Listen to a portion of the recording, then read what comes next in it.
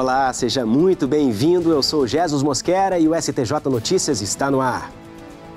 Ministros do STJ e da Corte Francesa se reuniram esta semana para debater a importância do direito ambiental e a jurisprudência aplicada nos dois países.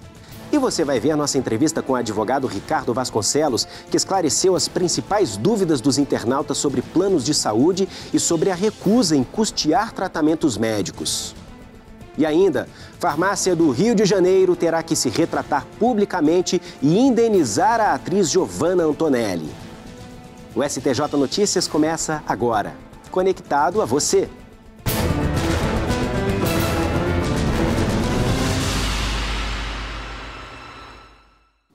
O STJ Notícias desta semana começa com um seminário sobre direito ambiental que reuniu juízes, desembargadores e ministros do STJ e da Corte Francesa. Foi debatida a jurisprudência aplicada nos dois países e ressaltada a importância do direito ambiental. Durante o segundo colóquio de jurisprudência comparada entre o Superior Tribunal de Justiça e a Corte de Cassação da França sobre o direito ambiental, o presidente do STJ, ministro João Otávio de Noronha, ressaltou que o direito tem o dever de discutir, atuar e agir para assegurar o direito de todos em relação ao meio ambiente. O papel fundamental das decisões dos tribunais, sobretudo a jurisprudência do Superior Tribunal de Justiça que traça pautas de comportamento aos agentes sociais. Essa pauta de comportamento ela tem sido cada vez mais elaborada, detalhada, como forma de preservar talvez a maior riqueza do Brasil. A maior riqueza do Brasil é a sua natureza.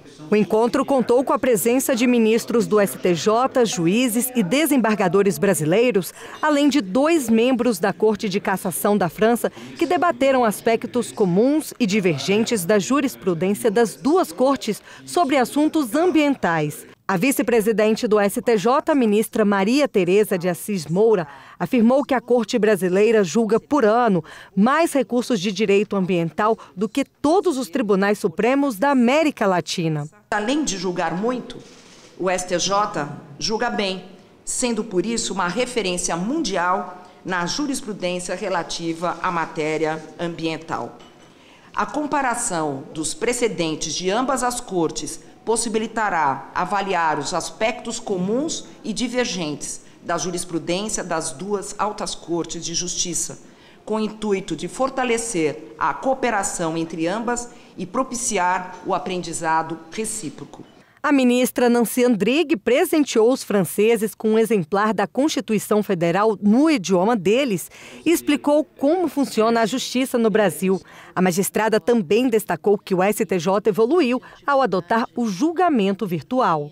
Parte ou determinados recursos são remetidos diretamente para uma plataforma eletrônica e nós, juízes, temos sete dias para proferir votos nesses julgamentos. O ministro Herman Benjamin, que conduziu o colóquio, agradeceu a presença de todos e disse que o encontro renderá um livro com as conclusões dos participantes. Banco Banrisul é condenado ao pagamento de indenização por danos morais a correntista que teve o nome mantido em cadastro de inadimplentes. Em outra sentença, já havia sido fixado o pagamento de multa. Os ministros da terceira turma entenderam que não existe impedimento legal para indenização por danos morais em razão de descumprimento de ordem judicial em ação onde foi fixada multa culminatória. Os ministros chegaram a esse entendimento durante julgamento do recurso de uma consumidora que buscava o direito de reparação por danos morais pelo fato de o banco Banrisul não ter tirado o nome dela do cadastro de inadimplentes. A determinação foi dada no julgamento de outra ação pela inclusão indevida no serviço de proteção ao crédito, onde foi fixada também pena de multa diária em caso de descumprimento. Como o banco não cumpriu a determinação da primeira ação, a correntista entrou com um novo processo, desta vez pedindo indenização por danos morais. O pedido foi aceito em primeiro grau, mas a decisão foi reformada pelo Tribunal de Justiça do Rio Grande do Sul, que julgou inviável a indenização em decorrência dos valores da multa culminatória. Uma vez determinada a retirada do nome judicialmente de um bom consumidor dos malfadados cadastros, seja SPC ou Serasa, não cumprindo esta obrigação, diariamente é uma multa pelo não cumprimento da obrigação de tirar. Essa multa é devida. Além desta multa, pode sim o consumidor entrar com ação pedindo os danos morais, não porque ele não retirou, mas porque ele manteve, porque ele incluiu no nome de um consumidor de bem. A consumidora recorreu ao STJ, onde o relator da ação, ministro Moura Ribeiro, afirmou que a acumulação de pedidos é possível por se tratar de institutos de natureza distintas. De acordo com o ministro, a multa tem finalidade exclusivamente coerciva e a indenização por danos morais tem caráter reparatório, portanto, perfeitamente cumuláveis. Por unanimidade, a turma acolheu o pedido da correntista, que deverá receber indenização por danos morais, além da multa por descumprimento de sentença anterior. Superior Tribunal de Justiça autoriza a substituição da penhora de bens por bloqueio de conta bancária de devedor. Quando o responsável pela guarda dos bens não é localizado, é possível o bloqueio em conta do valor total da dívida. A terceira turma do Superior Tribunal de Justiça rejeitou o recurso de um devedor que buscava afastar o bloqueio da conta bancária por entender que a penhora dos bens era suficiente para garantir a reparação da dívida.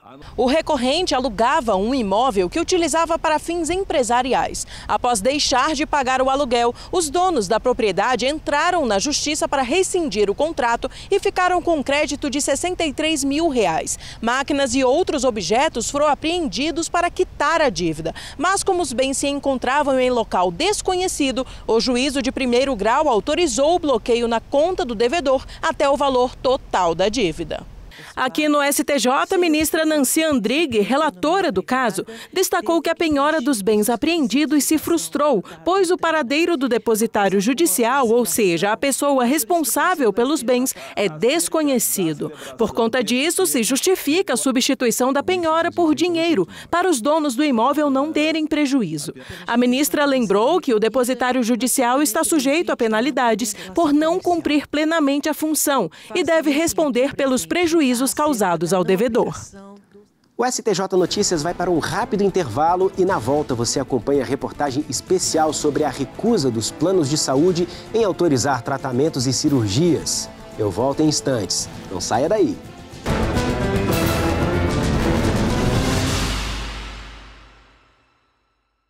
O mundo moderno gira em torno da velocidade da informação que precisa ser segura e confiável. Para atender estas exigências, o Superior Tribunal de Justiça elabora e disponibiliza duas publicações diferentes com o objetivo de divulgar a jurisprudência do tribunal: o Informativo de Jurisprudência e o Jurisprudência em Teses.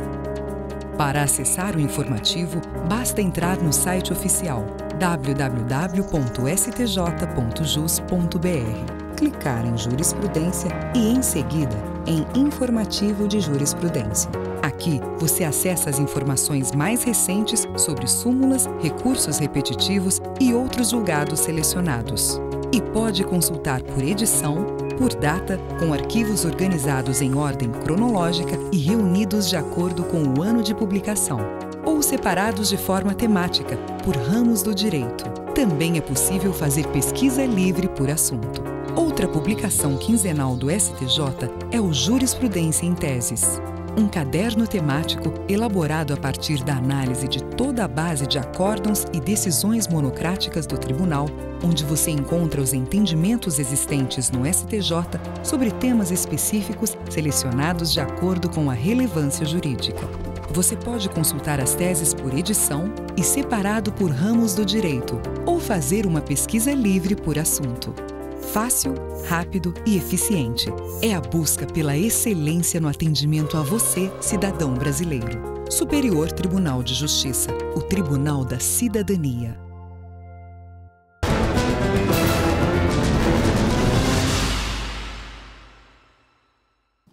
O STJ Notícias desta semana está de volta com uma reportagem especial sobre planos de saúde.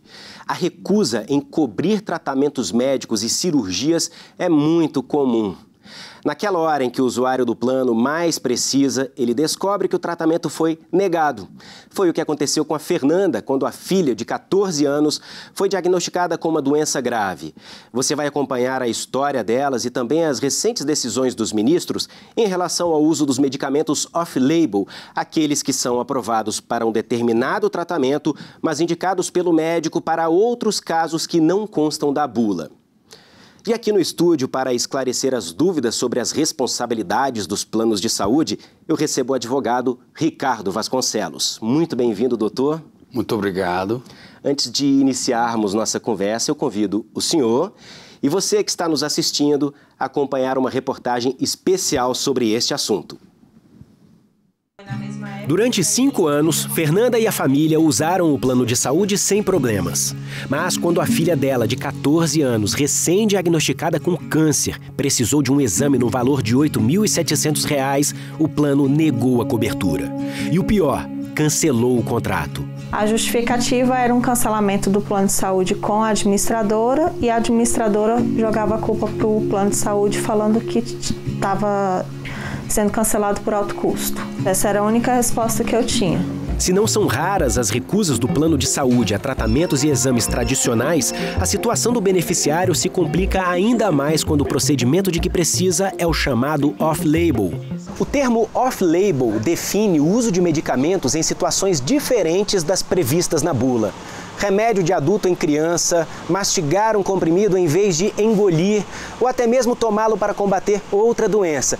Tudo isso é off-label mas esse termo só pode ser usado em relação a medicamentos já registrados na Anvisa, a Agência Nacional de Vigilância Sanitária. Receitar um remédio sem a chancela da Anvisa caracteriza tratamento experimental. Nesse caso, o plano de saúde não é obrigado a custeá-lo. Essa diferença entre experimental e off-label embasou duas decisões recentes do STJ em favor de beneficiários de planos de saúde. Dois casos parecidos em que a operadora se negou a custear a compra de medicamentos sob o argumento de que os tratamentos eram experimentais. Os ministros entenderam que não. Os tratamentos eram off-label e, portanto, as despesas deveriam ser pagas pela operadora. A Anvisa ela acompanha o que a legislação está dizendo. Então, ela entende que o termo off-label quer dizer fora da bula, mas pode ser prescrito desde que não seja medicamento experimental ou não seja reconhecido pelas, pelos organismos né, que, que recomendam aquele medicamento e desde que ele tenha reconhecimento na Anvisa para ser comercializado no país. As decisões do STJ têm respaldo no artigo 10 da Lei dos Planos de Saúde, que elenca todos os procedimentos que não precisam ser custeados pela operadora: inseminação artificial, tratamento de rejuvenescimento ou emagrecimento, entre outros. O experimental é o primeiro da lista. O off-label não é citado. Se não é citado, deve sim ser custeado pelo plano de saúde. Um dos dois casos sobre esse assunto que chegaram ao STJ foi julgado na terceira turma. Ao negar provimento a um recurso especial da AMIL, o colegiado manteve a obrigação de que a operadora fornecesse o medicamento T-modal, destinado a tratamento de câncer. Segundo a relatora do recurso, ministra Nancy Andrighi, autorizar que a operadora negue a cobertura de tratamento sob a justificativa de que a doença do paciente não está contida nas indicações da bula representa inegável ingerência na ciência médica em odioso e inaceitável prejuízo do paciente enfermo. A operadora de plano de saúde foi condenada a pagar R$ 2.500 por danos morais. A ministra destacou que a atitude da operadora, além de não ter fundamento na lei coloca o consumidor em desvantagem exagerada, situação prevista no artigo 51 do Código de Defesa do Consumidor. A outra decisão do STJ é da quarta turma. O relator, ministro Luiz Felipe Salomão, explicou que há uma confusão entre os conceitos de uso off-label e tratamento experimental. Segundo ele, a lei que regula os planos de saúde deve ser interpretada em harmonia com o artigo 7 da Lei 12.842 de 2013, que estabelece entre as competências do Conselho Federal de Medicina e não da Agência Nacional de Saúde Suplementar a edição de normas para definir o caráter experimental de procedimentos em medicina, autorizando ou vedando a prática pelos médicos. Por entenderem que o uso de medicamento off-label não corresponde a uso incomum e não trazia risco à saúde da paciente, os ministros confirmaram a decisão das instâncias ordinárias e negaram provimento ao recurso especial da operadora do plano de saúde. A legislação que atende todo o funcionamento da relação consumidor-plano de saúde, ela é bastante é, concentrada e bastante clara. Então a gente tem o Código de Defesa do Consumidor, a gente tem as resoluções da Anvisa e a gente tem a própria legislação típica que trata dessa relação consumidor e plano de saúde, porque a legislação é bastante clara e atende de uma forma bem ampla. Então, aqui com a gente, o advogado Ricardo Vasconcelos para comentar este assunto que a gente viu na reportagem. Doutor, quando o plano de saúde se recusa a custear determinado tratamento, o usuário do plano de saúde pode exigir da operadora, enfim, de quem é responsável por esse documento, a emissão de uma recusa por escrito? Sim, é direito do consumidor, né? porque nós estamos tratando de uma relação entre as partes, certo? De ter essa documentação de negação. Agora, a negação ela tem que ter um fundamento legal para isso. Não posso chegar e falar, ah, nego porque neguei. Eles têm que fundamentar dentro das normas da ANS né, que tem algumas situações que pode ser negado, né, situações de carência, situações de não estar coberto no plano, tal. Porém, o ideal é realmente que todos os casos que venham possibilitar um agravamento da situação, que aquela pessoa, aquele hospital ou aquela clínica, seja particular, seja onde for, ela atenda aquela pessoa. Diante de uma recusa sem fundamentação legal, quem que deve responder? A operadora de plano de saúde, a administradora? Olha, Existe a responsabilidade solidária nesse sim, caso? Sim, a sua seguradora nega o atendimento. É dever da administradora trabalhar, inclusive, em uma possibilidade de acordo ou até que você seja atendido, como eu falei, né, que cubra e faça o ressarcimento. Tem várias seguradoras de saúde e administradores que fazem isso e evitam ações judiciais. Doutor, a gente tem algumas perguntas enviadas pela internet. Sim. Estão aqui no telão, começando pela do Segundo Gonçalves Vital. Qual o período a ser respeitado para o reajuste da mensalidade e qual o índice adotado? Você tem um índice no máximo de 10%. Só que esse índice, e isso é o mais importante, quando você vai escolher um plano de saúde, você tem lá guia dos planos de saúde na ANS. Verifica quando você for fazer o contrato, com os guias do plano e o, uh, o que ele cobre, o que, que ele tem, com a carência, tudo isso você pode ver no site da Agência Nacional de Saúde, junto com o contrato que você tem.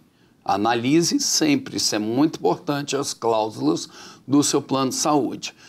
Quando ele pode ser reajustado? Só apenas após a data de aniversário dele seja, dizendo mais é, popularmente, depois de um ano. Próxima pergunta, enviada pela internet, essa da Gabriela Vieira, chegou pelo Facebook. O valor do plano de saúde pode ser cobrado de acordo com a idade? Se eu tenho um plano de saúde e eu tenho mais de 60 anos, e se esse meu plano já tem 10 anos que eu uso o plano, mas eu continuamente eu estou pagando nunca deixei de pagar durante esses 10 anos ininterruptos, eu não tenho mais aumentos para esses idosos a partir dessa idade. A gente tem mais perguntas enviadas pela internet. Regina Duarte de Brasília. Plano de saúde é obrigado a fornecer o tratamento off-label? Só quem pode dizer que medicamento tem que ser usado é o profissional de medicina, não é o plano de saúde. Nossa última pergunta. Sim. Vitor Saide Azevedo, de Vitória Espírito Santo. No caso de um plano de saúde contratado há um mês, a empresa pode negar cobertura em situação de emergência, alegando que ainda está no período de carência? Não pode. O STJ já decidiu isso. Não pode negar a urgência ou possibilidade de debilitar aquele paciente. Não há possibilidade, mesmo durante o período de carência, tem obrigação de atender. Muito obrigado pela entrevista. Obrigado, muito obrigado. E nós vamos para mais um rápido intervalo. Na volta você vai ver. A atriz Giovanna Antonelli será indenizada por uso indevido da imagem dela na venda de produtos de emagrecimento. Eu volto em instantes. Até já!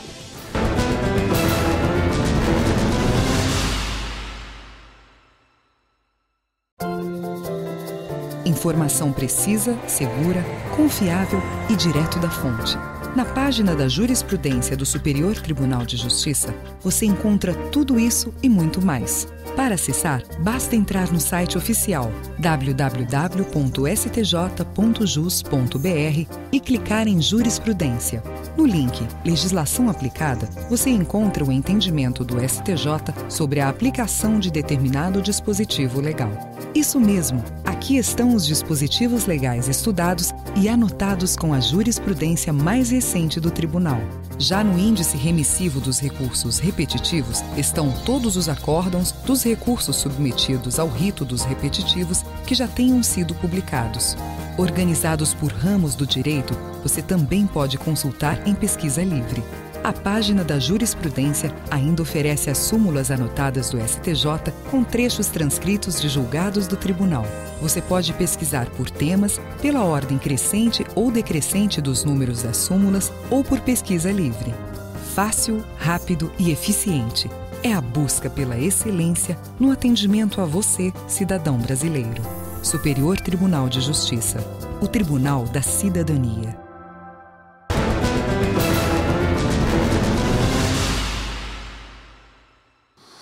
O STJ Notícias está de volta com uma decisão da terceira turma do Superior Tribunal de Justiça.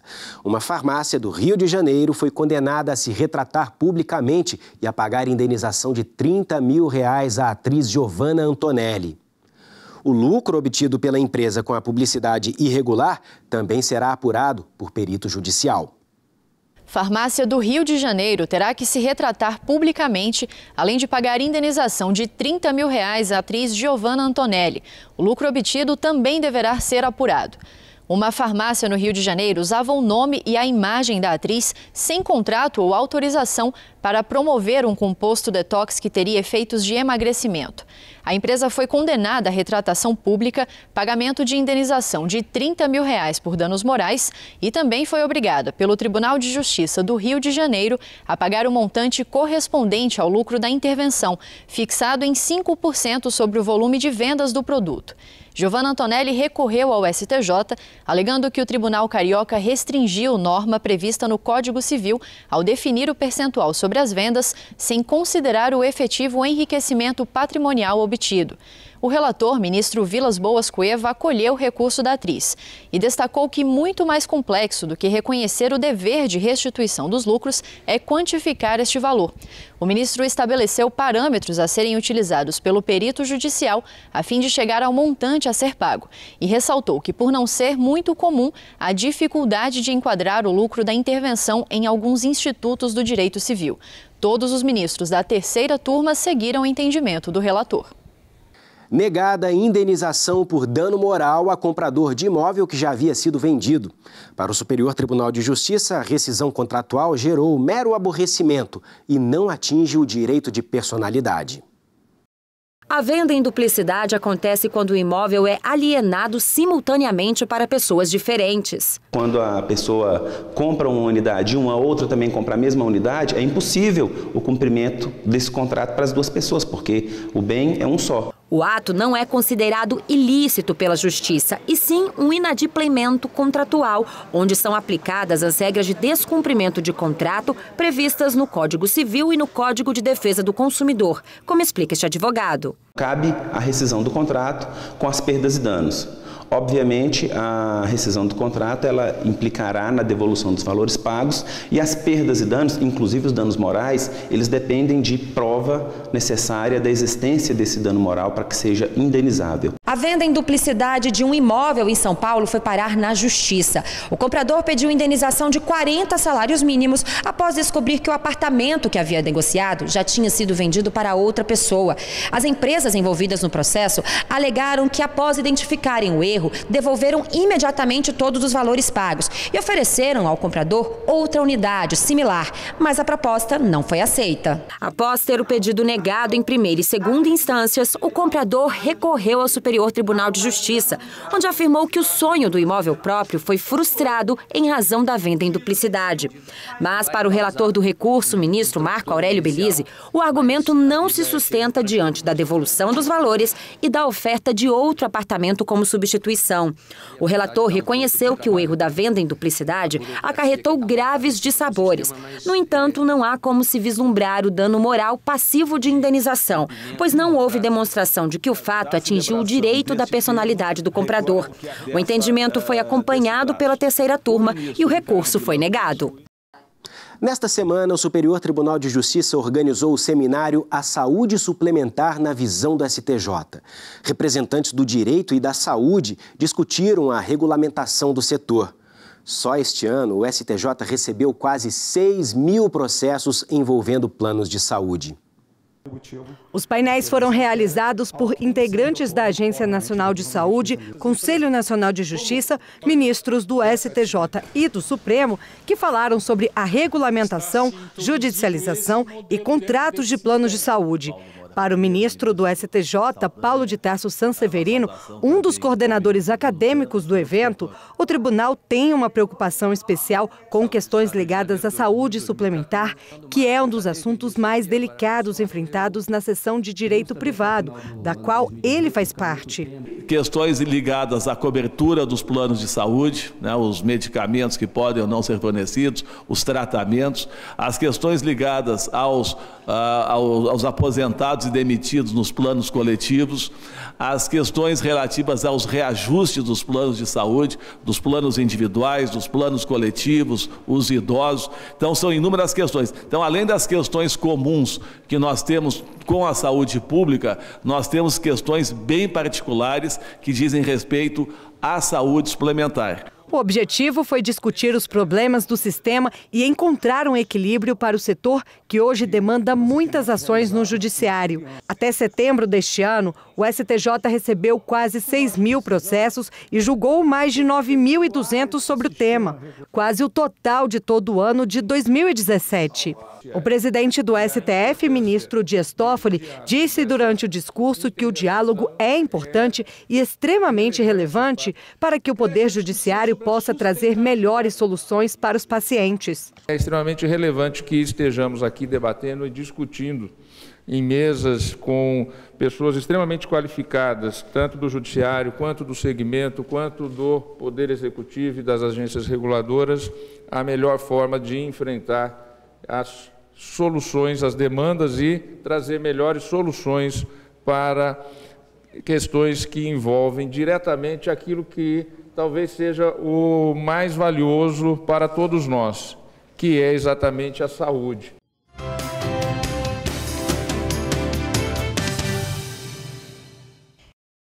O ministro do Superior Tribunal de Justiça, Joel Ilan Paciornik, deferiu o pedido para atribuir efeito suspensivo ao recurso com o qual o deputado federal eleito em 2018, Isaac Carvalho, do PCdoB da Bahia, pretende reverter a condenação que o deixou inelegível por cinco anos. Isaac Carvalho não teve os votos computados em razão do cumprimento provisório das penas. A decisão suspende os efeitos da condenação até o julgamento do recurso pelo STJ.